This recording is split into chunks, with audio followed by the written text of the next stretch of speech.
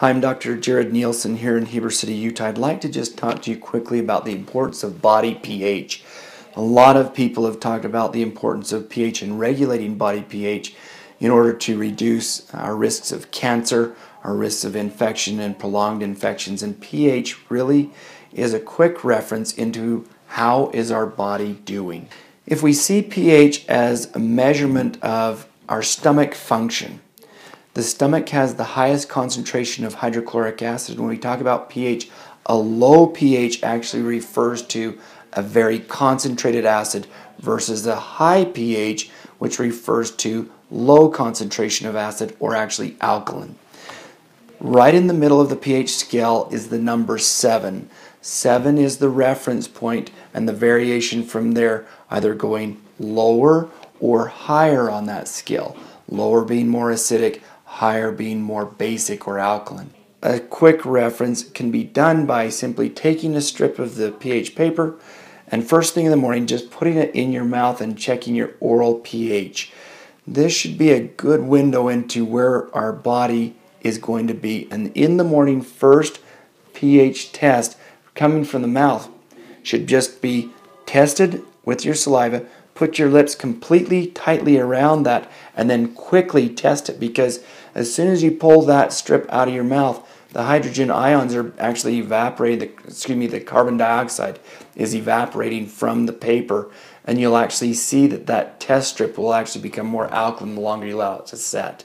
So moisten it quickly, test it quickly, and that reference range for the mouth should be between 6, 8, and 7 first thing in the morning.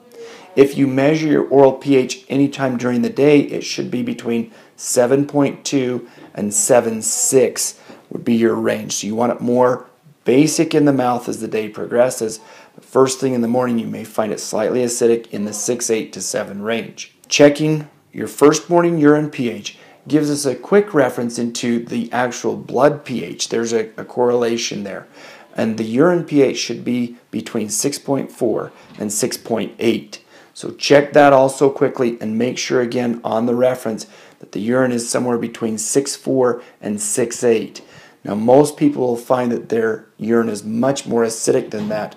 And there are some steps that we can talk about more to optimize this. And the person who experiences a lot of tartar buildup on their teeth or calculus buildup, they can get their teeth cleaned even by the dentist and it seems by the end of the day there's already plaque forming that saliva becomes then very acidic because the low concentration of acid in the tummy. That person will commonly experience some type of GI or refluxing irritation, which is actually an indication of loss of concentrated stomach acids and more of a buildup of lack of digestive enzymes, which causes lactic acid or fermentation of the food. So that person has a lot of burping, or that person experiences a lot of refluxing.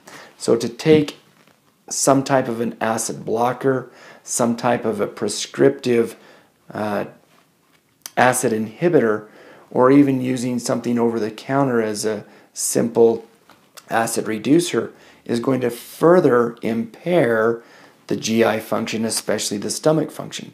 So we should actually look physiologically and from a biological medicine perspective again, how can we reconcentrate our stomach acids? How can we rebuild the stomach and how can we restore its function? Again, pH, great window into the body's health. For the mouth, first thing in the morning, oral pH 6.8 to 7.0 as the day progresses, 7.2 to 7.6. First morning urine pH somewhere between the scale 6.4 to 6.8. Those are our targets. Keep your urine pH and your saliva pH first morning tests a little log. Check that for up to two weeks in a row and see where your body is. Consult your healthcare practitioner if it's outside of that range. Let's get that restored. Again, I'm Dr. Nielsen here in Heber City, Utah. Thanks for taking the time to listen to this information.